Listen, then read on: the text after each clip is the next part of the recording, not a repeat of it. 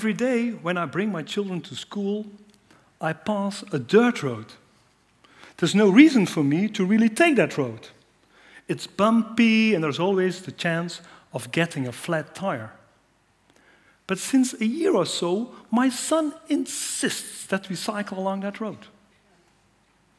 It all started when his best friend at school asked him, Hey, Floris, do you dare to take the hero's road? And since then, I have no other option than to cycle along that bumpy road. What I try to show you with this anecdote happens to us every day. New media, social media, the news, politicians, organizations, scientists, they all offer us frames that we can apply to construct reality. How does that work and what can you do with it? First, there is the dirt road. That's a fact that can easily be double checked. But now let me introduce the actual frame. That's the archetype of the hero.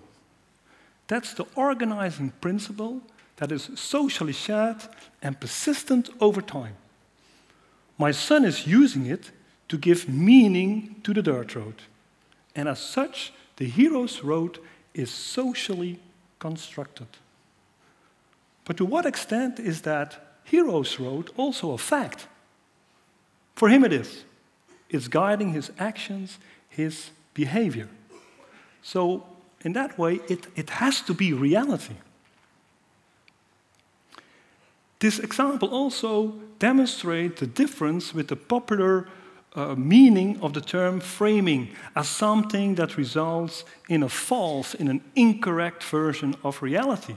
But in the contrary, thanks to frames, reality takes shape. A fact and a frame results in a new reality. Do we stand in relation to the dirt road or to the hero's road? Do we run because it is real, or do we run because we perceive it in a particular way? Which version of reality is guiding our behavior? Take a look at this. Some people are recognizable by their haircut. now, let's be clear it is you who might be making a political statement out of a simple factual observation. Some people are recognizable by their haircut. It is your brain that making, that's making connections and comes to conclusions. Framing works through association. We see an image, we hear a word, and we immediately are making connections. It's our flexible brain that fills in the gaps. Because, of course, we all know this is Charlie Chaplin, and that's John Bon Jovi. now let's talk and think about asylum seekers, refugees, undocumented immigrants. One way to perceive these people is from the perspective of the victim. Seen from from that frame, they deserve our attention and our help. But with one snap of the finger, and another, and another, and another, that tiny victim turns into an intruder, into a villain. It becomes all the more emotional. Our prisons are filled with colored people. I no longer feel at home in my own country. Our typical Western values will be jeopardized. And of course, when the intruder is in your mind, you only see intruders, and when the victim is in your mind, you only see victims. Framing works through simplification.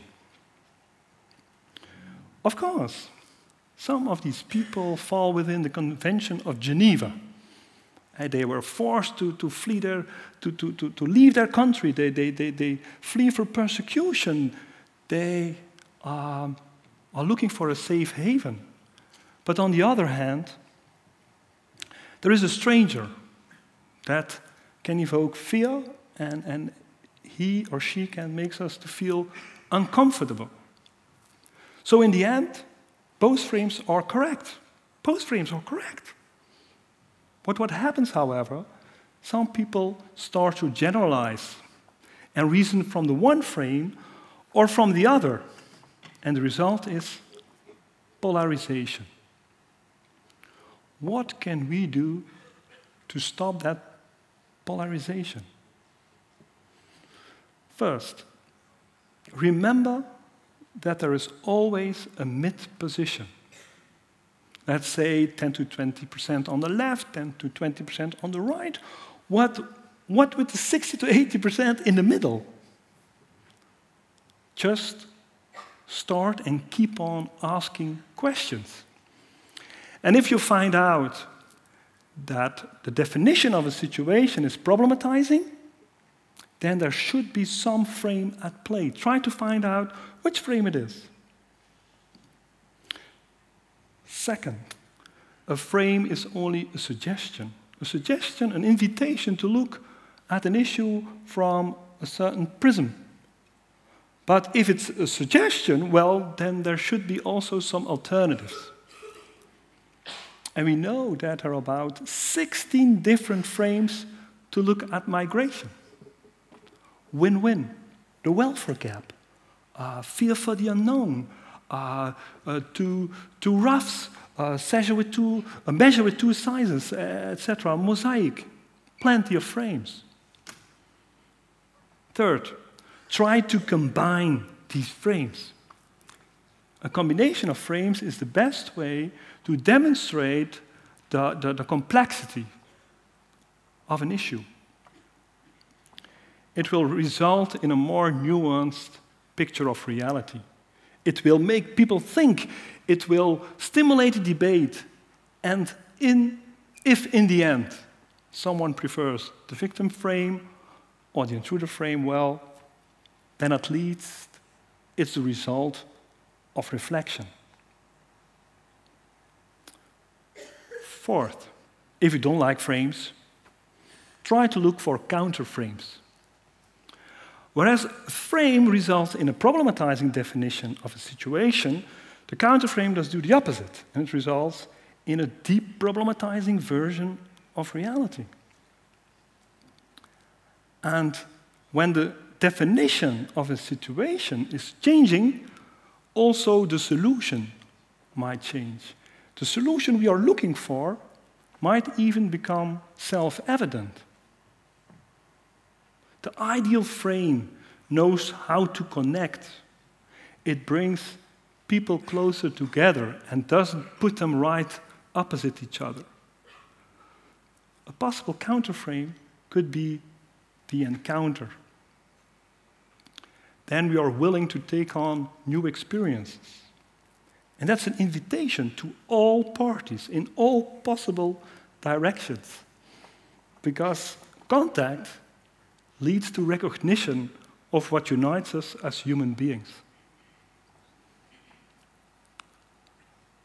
I, hope that my, my talk today is an invitation for you to look further than your own frames, and that you're willing to look for alternatives and to look for connections with the ideas of others. I will try to do the same next week when I cycle with my son and daughter along the hero's Road. what I found out, what I found out is that the hero's Road is actually a counterframe. It's an invitation to me. My son taught me a lesson.